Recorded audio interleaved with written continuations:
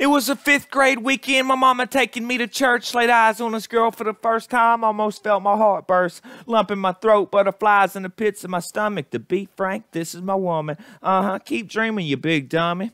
Exceptional, tender, delicate soul. My love for you will never get old. What were we then? All of about 10? How convenient. That's the same as the amount of letters in your name. If you take out the middle and maiden, I wasn't a criminal until they made me one. Same goes for our soothing records.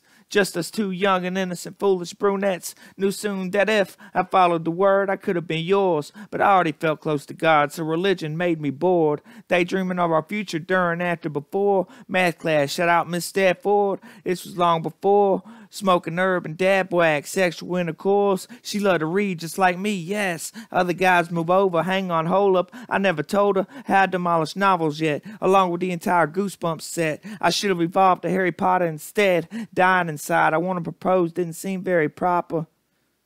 All them other girls, nah, there is none hotter. no, I'm ad libbing at the end there.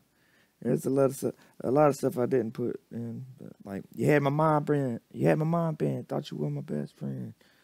When I needed to re up, she was the leader of the tree club. Uh, what up, big man? I'm still riddled in. oh man, I don't know. It's a million ways you can you can go with it, man. But praise God, thank you for allowing me to do that. Amen.